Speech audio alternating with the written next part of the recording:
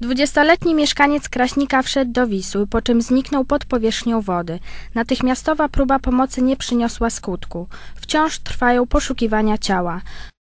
Do zdarzenia doszło w niedzielę 17 lipca w miejscowości Jakubowice w gminie Annopol.